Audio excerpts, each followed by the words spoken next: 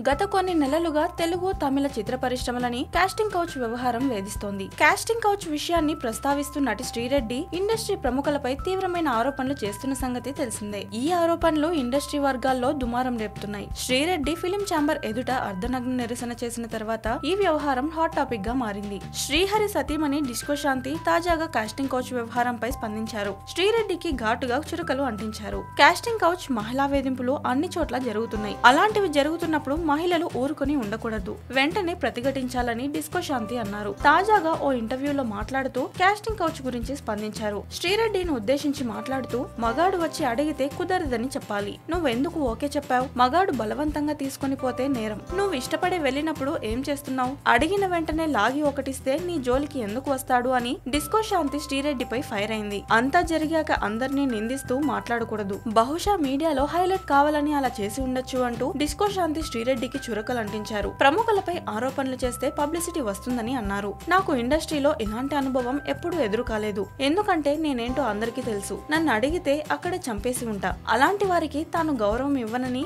బూతులే మాట్లాడతానని డిస్కోశాంతి ఘాటుగా వ్యాఖ్యానించారు. ప్రస్తుతం మూడేళ్ళ పిల్లాడి వద్ద కూడా ఇంటర్నెట్ ఉంటోంది. ఏ చిన్న విషయం జరిగినా మీడియాలో హడావిడి ఎక్కువైపోతోంది. ఇండస్ట్రీలో మరీ ఆ స్థాయిలో కాస్టింగ్ కౌచ్ జరుగుతుందంటే మీడియా ఈ పాటికే బయట పెట్టేది అన్ని చోట్ల జరుగుతున్నట్లే ఇక్కడ కూడా కొన్ని తప్పులు జరుగుతూ ఉండొచ్చని అన్నారు.